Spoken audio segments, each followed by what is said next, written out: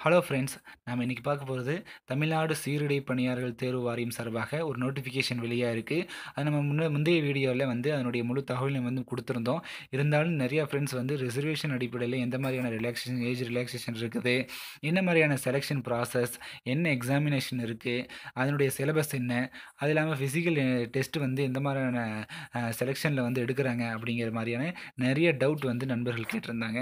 அதை அதை பற்றியான முழுமையான தகவலை கொடுக்கலாம் அப்படிங்கிறதான் இந்த வீடியோட நோக்கம். வாங்க அந்த டீட்டெயில்ஸ் வந்து முழுமையாக தெரிஞ்சுக்கலாம். ஓகே இப்போ பார்த்தீங்க அப்படின்னா ஒவ்வொரு துறை வாரியாகவும் மொத்த காலி பணியிடங்கள் எவ்வளோ அப்படிங்கிறது வந்து நம்ம வந்து இதில் வந்து மென்ஷன் ஆகிருக்கு மொத்தம் பார்த்தீங்க அப்படின்னா மூவாயிரத்தி முந்நூற்றி ஐம்பத்தி ஒம்பது காலி பணியிடங்கள். அதில் வந்து துறை வாரியாக எந்த எந்த மாதிரியான வேகன்சி வந்து ஒதுக்கியிருக்காங்க? ஆண்களுக்கு எவ்வளோ பெண்களுக்கு எவ்வளோ அப்படிங்கிறத வந்து இங்கே மென்ஷன் பண்ணியிருக்காங்க. அதில் வந்து ஆண்களுக்கு வந்து ரெண்டாயிரத்தி ஐநூற்றி எழுபத்தி ஆறு வேகன்சியும் பெண்களுக்கு வந்து எழுநூற்றி எண்பத்தி மூணு வேகன்சியும் மொத்தம் மூவாயிரத்தி முந்நூற்றி ஐம்பத்தொம்போது வேகன்சி வந்து அறிவிச்சிருக்காங்க. ஓகே அடுத்து பார்த்திங்க அப்படின்னா ஏஜ். Age limit. ஒவ்வொரு ரிசர்வேஷன் அடிப்படையில் எந்த மாதிரியான ஏஜ் ரிலாக்ஸேஷன் கொடுத்துருக்காங்க அப்படிங்கிற தகவலை நம்ம பார்க்கலாம். ஃபஸ்ட்டு பார்த்திங்க அப்படின்னா பொது பிரிவினர் ஓசிக்கு பார்த்திங்க அப்படின்னா மினிமம் வந்து பதினெட்டு வயசும் மேக்ஸிமம் ஏஜ் வந்து டுவெண்ட்டி சிக்ஸ் ஏஜும் நீங்கள் இருக்கணும். அதில் பார்த்திங்க அப்படின்னா ஒன்று ஏழு ரெண்டாயிரத்தி இருபத்தி ஒன்றின் படி அந்த டேட்டுக்குள்ளே உங்களுடைய இருபத்தி ஆறு வயசுக்கு உட்பட்டவராக நீங்கள் இருக்கணும் அது டேட்டு பார்த்திங்க அப்படின்னா ஒன்று ஏழு ஆயிரத்தி தொள்ளாயிரத்தி தொண்ணூற்றி ஏழுலேருந்து ஒன்று ஏழு ரெண்டாயிரத்தி அஞ்சுக்குள்ளே வந்து நீங்கள் பிறந்திருக்க வேண்டும் அப்படின்னு சொல்லியிருக்காங்க.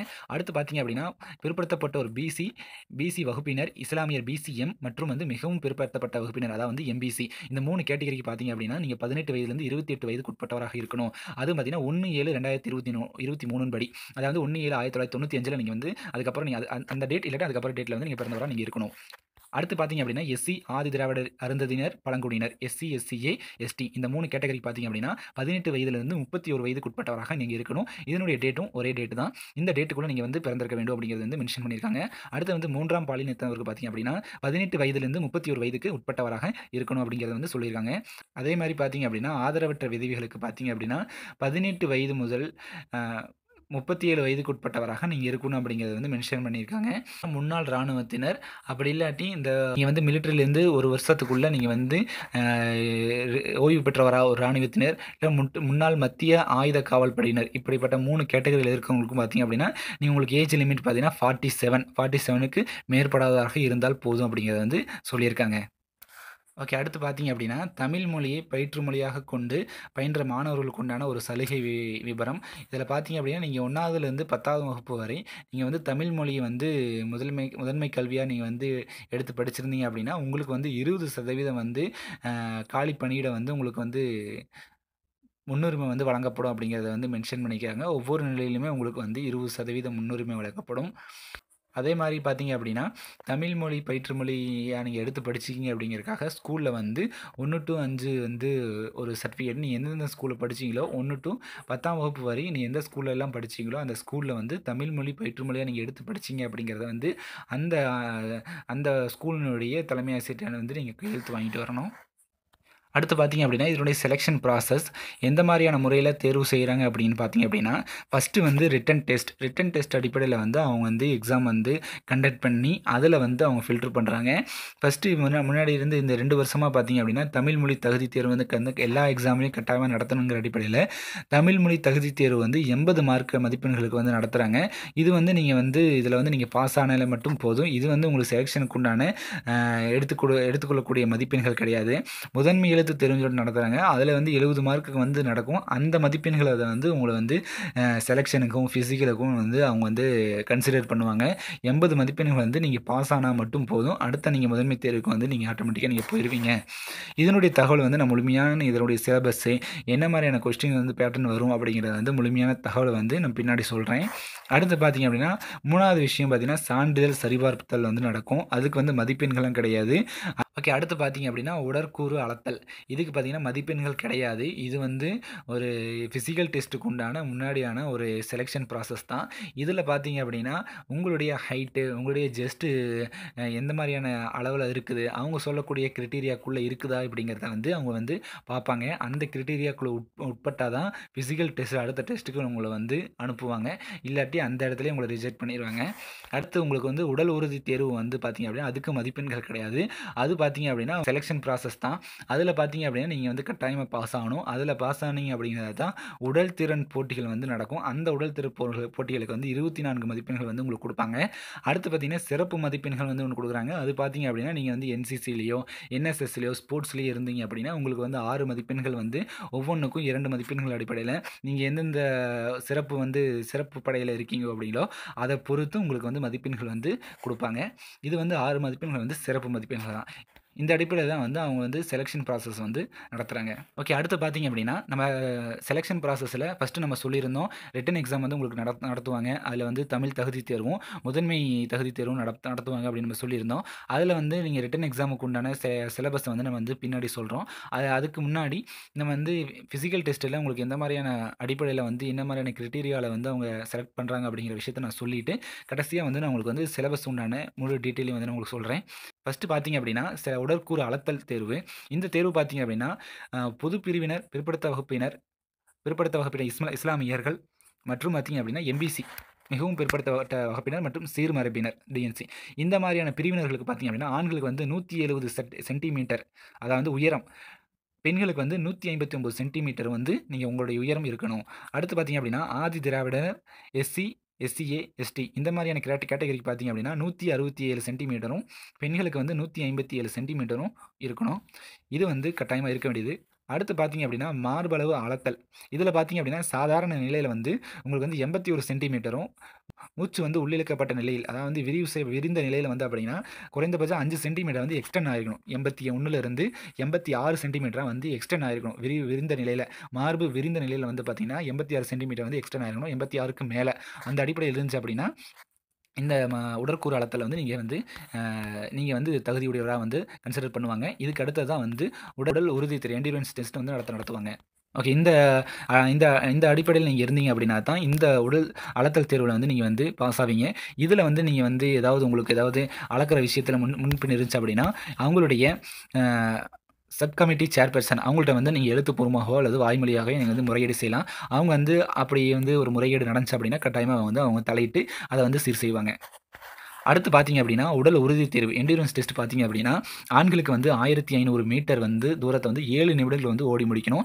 பெண்களுக்கு வந்து பார்த்தீங்கன்னா நானூறு மீட்டர் தூரத்தை இரண்டு நிமிடங்கள் முப்பது வினாடிகள் வந்து ஓடி முடிக்கணும். இதுதான் வந்து என்டூரன்ஸ் டெஸ்ட் இது கட்டாயமாக எல்லாருமே வந்து அட்டன் பண்ண வேண்டிய கட்டாயமான விஷயம். இதில் வந்து முன்னாள் இராணுவத்தினருக்கும் ஓய்வாண்டு ஓய்வு பெற்ற ஓராண்டுக்குள்ளே இருக்கக்கூடிய இராணுவத்தினருக்கும் முன்னாள் மத்திய ஆயுத காவல்படையினருக்கும் பார்த்தீங்கன்னா ஆயிரத்தி ஐநூறு மீட்டர் தூரத்தை வந்து எட்டு நிமிடங்கள் வந்து ஓடி முடிக்கணும் அப்படிங்கிறத சொல்லியிருக்காங்க.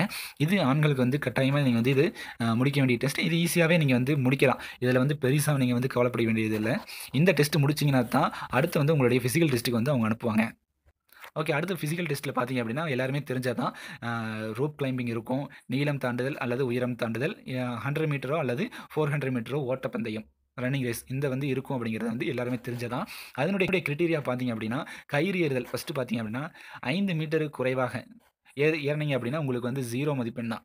மினிமம் வந்து அஞ்சு மீட்டர் ஏறணும். ஏறும்போது உங்களுக்கு என்னென்னா ஒரு ஸ்டார் அதாவது நான்கு மதிப்பெண்கள். அடுத்து ஆறு மீட்டர் ஏறினீங்க அப்படின்னா டூ ஸ்டார் டபுள் ஸ்டார் எடுப்பீங்க. அப்போ வந்து எட்டு மதிப்பெண்கள் வந்து உங்களுக்கு கொடுப்பாங்க.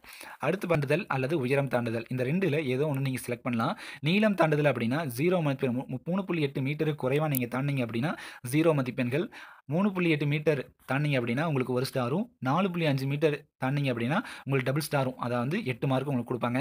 உயரம் தாண்டுதல் அடிப்படையில் பார்த்தீங்கன்னா ஒன்று புள்ளி ரெண்டு மீட்டர் குறைவாக நீங்கள் தாண்டிங்க அப்படின்னா ஜீரோ மதிப்பெண்.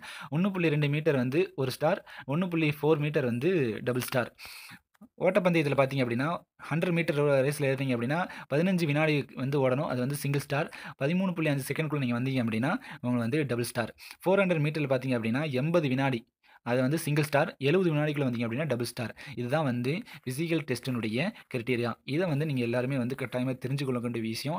இதை நீங்கள் முழுமையாக தெரிஞ்சுக்கிட்டா தான் உங்களுடைய ஃபிசிக்கலை வந்து உங்களால் தயார்படுத்த முடியும். இந்த அவங்க என்ன மாதிரியான கிரிட்டீரியாவில் வந்து செலெக்ஷன் பண்ணுறாங்களோ அந்த கிரிட்டீரியாவை விட நீங்கள் வந்து ஃபிசிக்கலை வந்து நீங்கள் கிரவுண்டில் வந்து நீங்கள் ப்ராக்டிஸ் எடுத்தீங்கன்னா தான் அங்கே வந்து உங்களால் பெர்ஃபார்ம் பண்ண முடியும்.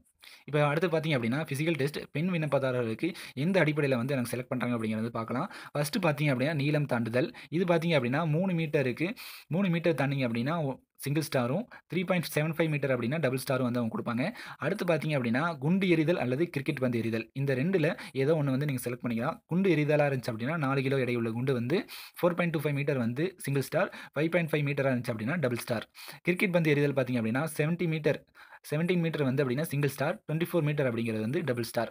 அடுத்து ஓட்டப்பந்து பார்த்தீங்கன்னா, இவங்களுக்கு வந்து நூறு மீட்டர் ஓட்டமும், 200 மீட்டர் ஓட்டம் அதாவது ரெண்டு அடிப்பில் கொடுங்க நமக்கு வந்து 400 மீட்டர் கொடுப்பாங்க இதில் பார்த்தீங்க அப்படின்னா நூறு அல்லது இரநூறு இதில் பார்த்தீங்க அப்படின்னா செவன்டீன் பாயிண்ட் ஃபைவ் வினாடிகள் வந்து சிங்கிள் ஸ்டார், 15.5 வந்து டபுள் ஸ்டார். 200 மீட்டர் பார்த்தீங்க அப்படின்னா 38 செகண்ட் பார்த்தீங்க அப்படின்னா சிங்கிள் ஸ்டார், 33 செகண்ட் பார்த்தீங்க அப்படின்னா டபுள் ஸ்டார். இந்த இந்த மாதிரியான கிரிட்டீரியாவில் தான் வந்து பெண் விண்ணப்பதாரர்களுக்கு உண்டானிய ஃபிசிக்கல் டெஸ்ட் வந்து வந்து கண்டக்ட் பண்ணுறாங்க இதை வந்து பெண் விண்ண பெண் விண்ணப்பதாரர்கள் வந்து கட்டாயமாக அவங்களுக்கு தெரிஞ்சிடும் இந்த ஏரியாக்குள்ளே உங்களுடைய ஃபிசிக்கல் வந்து நீங்கள் கிரவுண்டில் வந்து அந்த அளவுக்கு பண்ணணும். ஓகே. இந்த அடிப்படையில் தான் வந்து அவங்க ஃபிசிக்கல் டெஸ்ட் வந்து கண்டக்ட் பண்ணுறாங்க ஃபிசிக்கல் டெஸ்ட்டில் எந்த மாதிரி வேறு ஏதாவது உங்களுக்கு டவுட் இருந்துச்சு அப்படின்னா, கமெண்ட் பாக்ஸில் வந்து கமெண்ட் பண்ணுங்க. உங்களுக்கு வந்து நான் வந்து முழு டீட்டெயிலும் வந்து நான் வந்து உங்களுக்கு வந்து ஷேர் பண்ணுறேன் அடுத்து பார்த்தீங்க அப்படின்னா, இதனுடைய ரிட்டன் டெஸ்ட்டுக்கு உண்டான சிலபஸ் வந்து எந்த மாதிரியான கண்டக்ட் பண்ணுறாங்க அப்படிங்கிற விஷயத்த வந்து இப்போ பார்க்கலாம். ஓகே. இப்போ அடுத்து பார்க்க போகிறது வந்து ஃபிசிக்கல் டெஸ்ட்டுக்கு உண்டான என்ன மாதிரியான சிலபஸ் அப்படிங்கிறது வந்து ஃபஸ்ட்டு பார்க்கலாம். ஃபர்ஸ்ட்டு பார்த்தீங்க அப்படின்னா, தமிழ் மொழி தகுதி தேர்வு. இந்த தேர்வு பார்த்தீங்க அப்படின்னா, உங்களுக்கு தகுதி தேர்வு மட்டும்தான் இந்த தமிழ் மொழி தகுதி தேர்வில் நீங்கள் பாஸ் ஆனால் மட்டும் தான்.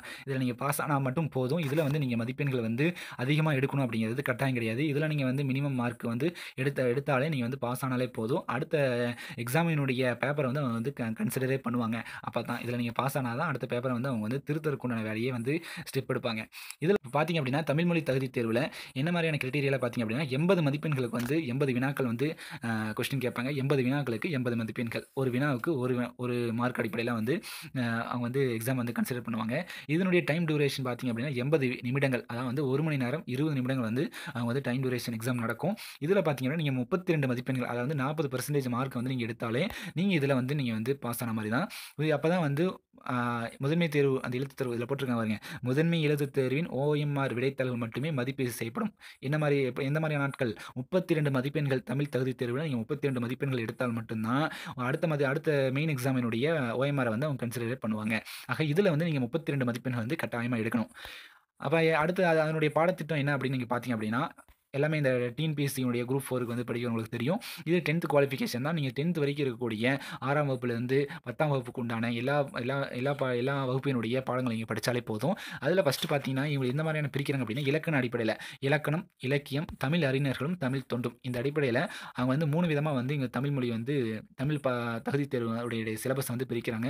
இதில் இலக்கணத்தில் வந்து எழுத்து இலக்கணம், சொல் இலக்கணம், பொது இலக்கணம், பொருள் இலக்கணம், யாப்பு இலக்கணம், அணி இலக்கணம் இந்த மாதிரியான எல்லாமே மினிமம் நீங்கள் தெரிஞ்சுக்க கூட தெரிஞ்சுக்கொள்ள வேண்டிய மினிமமான விஷயங்கள் தான். இது ரொம்ப வந்து டீப்பான விஷயம் கிடையாது. இதில் வந்து நீங்கள் வந்து மேலாப்பில் நீங்கள் படிச்சுட்டு போனாலே ஈஸியாக நீங்கள் வந்து பாஸ் ஆகிடலாம் அடுத்து பார்த்தீங்க அப்படின்னா, முதன்மை எழுத்து தேர்வு. இதனுடைய மதிப்பெண்கள் பார்த்தீங்கன்னா, 70 மதிப்பெண்கள் 70 மார்க் வந்து அவங்க வந்து நடத்துவாங்க.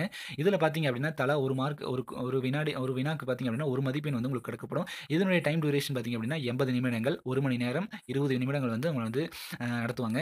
இதில் பார்த்தீங்க அப்படின்னா, உங்களுக்கு வந்து மினிமம் மார்க் பார்த்தீங்க அப்படின்னா, 35% வந்து நீங்கள் பெற்றிருக்கணும். அதான் வந்து பாஸ் மார்க். குறைந்தபட்சம் இருபது இருபத்தஞ்சு மதிப்பெண்கள் வந்து நீங்கள் பெற்றிருந்தால் தான் பாஸ் மார்க். ஆனால் நீங்கள் செலெக்ஷன் ஆகிறதுக்கு ஃபிசிக்கல் டெஸ்ட்டுக்கு உங்களுக்கு கூப்பிட்றக்கும் உங்களுடைய கட் ஆஃப் மார்க் வந்து உங்களுடைய ஏஜ் உங்களுடைய ரிசர்வேஷன் அடிப்படையில் கட் ஆஃப் மார்க் ஏறுறதுக்கும், இதுதான் வந்து அவங்க வந்து இந்த மார்க் தான் வந்து கன்சிடர் பண்ணுவாங்க. ஆக இந்த பாஸ் மார்க்லாம் வந்து நமக்கு பத்தாது. அதிகமான மார்க்கை வந்து நம்ம எடுக்கணும். ஆக இதனுடைய சிலபஸ் பார்த்தீங்க அப்படின்னா, பொது அறிவு வினாக்கள் பார்த்தீங்கன்னா, 45 வினாக்கள் வந்து கேட்பாங்க. 45 மதிப்பெண்கள். உளவியல் தேர்வு பார்த்தீங்க அப்படின்னா, 25 வினாக்கள் 25 மதிப்பெண்களுக்கு வந்து அவங்க கேட்பாங்க.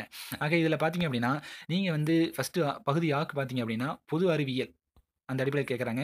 பொது அறிவியல்ல வந்து இயற்பியல், வேதியியல், உயிரியல், சூழ்நிலையியல், உணவு மற்றும் ஊட்டச்சத்தியல் இந்த ப இந்த பகுதிகள்லாம் வந்து பொது அறிவியலை வந்து கேட்குறாங்க. சமூக அறிவியலில் பார்த்தீங்க அப்படின்னா, வரலாறு, புவியியல், இந்திய அரசியல் மற்றும் பொருளாதாரம் ஆகிய இந்த மாதிரியான பாடப்பிரிவுகளை வந்து கேட்குறாங்க.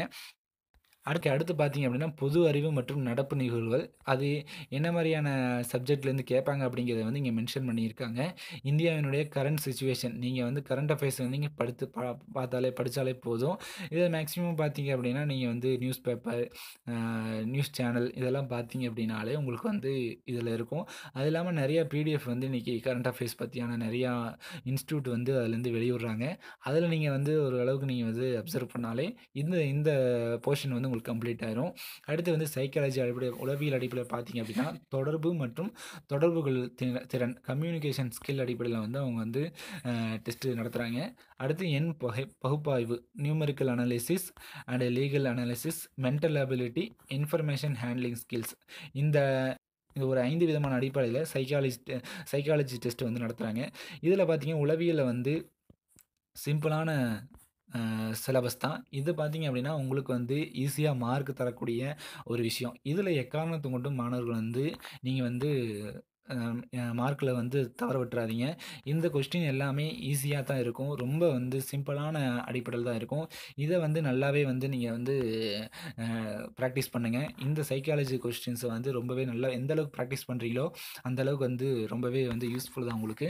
அதுக்கடுத்து வந்து செகண்டரியாக நீங்கள் இந்த மாதிரியான இந்த சிலபஸ் பகுதியாக சிலபஸ் அதான் வந்து பொது அறிவு நாற்பத்தஞ்சு வினாக்கள் நம்ம சொல்லியிருக்கோம்ல அதில் வந்து நீங்கள் பொது அறிவியல் சமூக அறிவியல் பொது அறிவு இதில் வந்து நீங்கள் செகண்டரியாக நீங்கள் பார்த்தீங்க அப்படின்னாலே ஈஸியாக உங்களால் வந்து மார்க்கை வந்து ஈஸியாக கெயின் பண்ண முடியும் ஏன்னா சைக்காலஜி வந்து ஈஸியாக மார்க்கு கொடுக்கக்கூடிய விஷயம். அதில் எக்காரணத்தை கொண்டு நீங்கள் மார்க்கை விட்டுறாதீங்க.